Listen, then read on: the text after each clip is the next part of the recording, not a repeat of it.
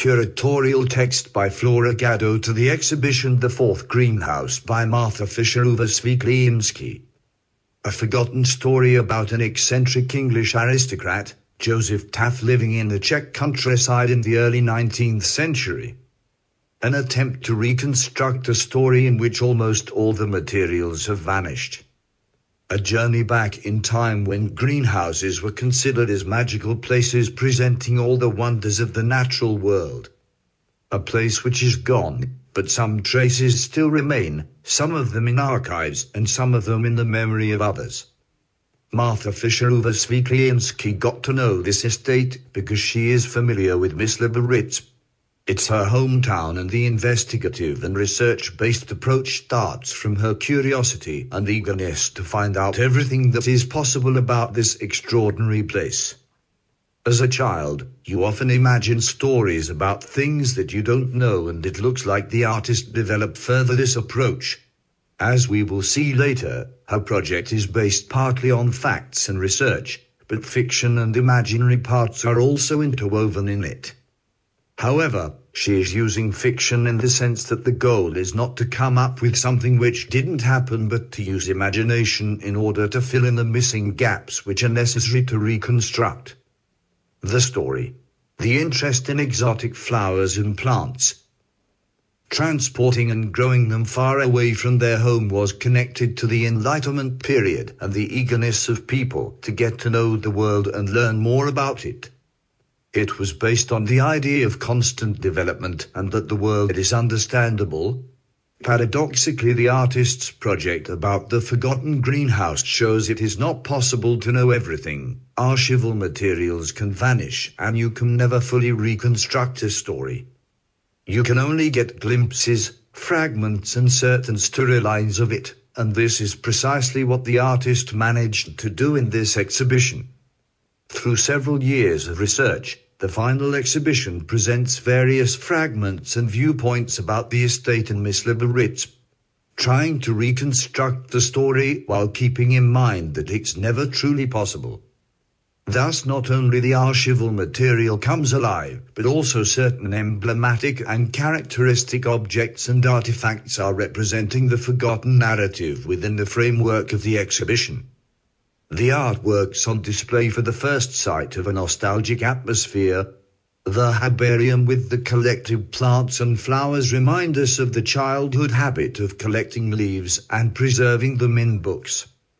The textile prints in the glass sculptures bring us back in a time of Joseph Taaffe's obsession of collecting in the late 18th, early 19th century. On the prints, we can see plants which are connected to Miss Myslibořice and the greenhouse in one way or the other. Like the huge coffee tree Taaffe bought or the magnolias he sold to Emperor Francis II. The glass sculptures, a bust of Buddha, a trowel, a watering can and other objects, which are placed on cultivation tables, evoke on one hand the commonly used tools in a greenhouse as well as oriental objects which were commonly displayed there as decorative elements. Through these works as well as certain retouches, the artist attempts to reconstruct the former greenhouse, but she does it is not simply to revisit and imagine a golden past. Like in the book by French author Alain Fournier, who in his first and only novel, The Lost Estate, Le Grand Meaulnes, 1913 writes about a forgotten and seemingly abandoned but magical chateau in the forest. Moreover, Marta Fišerová Cwiklinski touches upon a quite urgent topic through these seemingly nostalgic elements.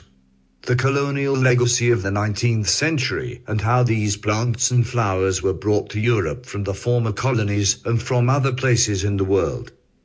The greenhouse itself, as the other venues presenting the other, was established in order to create a space where species from other continents could survive and could be presented to the elite as a luxurious hobby. The artist thus investigates this aspect of the story and emphasizes the various ways exploitation and exoticization of other territories, places and species took place in the past and asks what are the effects this has on the present. The interesting life story of Taaffe, an Englishman and a botanist living in the Austro-Hungarian monarchy, also evokes the question of migration and trade. What are the current trade routes which we unconsciously also take advantage of and can we establish more local and grassroots initiatives in terms of, for example, the food industry? In the exhibition, times intertwine and we can encounter a certain kind of multitemporality in which both the artist's childhood and imagination, the attempt of a historical reconstruction together with the performativity of the archival material and a critical perspective could be seen simultaneously.